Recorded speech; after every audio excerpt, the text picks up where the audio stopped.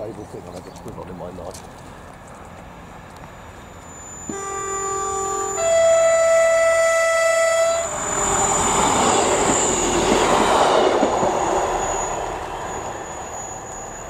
Eight thirty.